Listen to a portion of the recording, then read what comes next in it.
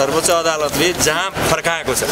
नेकपा एमाले जो मरेको नेकपा एमाले जहाँ बिउताइयो त्यो बिउतेकै ठाउँबाट पार्टीका सङ्गठन संरचना सम्पत्ति जो जे हुन् त्यही बिन्दुमा फर्काएको हुनाले पार्टी तीबाट सुरु हुनुपर्छ भनेर हामी सेन्ट्रल कमिटीका सदस्यहरूले दस्तखत गरेर बैठकको माग गर्ने भन्ने निर्णय हामीले गऱ्यौँ एउटा त्यसैको लागि उहाँहरूलाई चाहिँ बोलाइएको थियो। हामीले थाई कमिटीमा यही छलफल गरेका थियौँ। दोस्रो संसदीय दलको बैठकमा जाने आफ्ना कुराहरू राख्ने नोट अफ डिसिसन राख्ने त्यहाँबाट फर्किने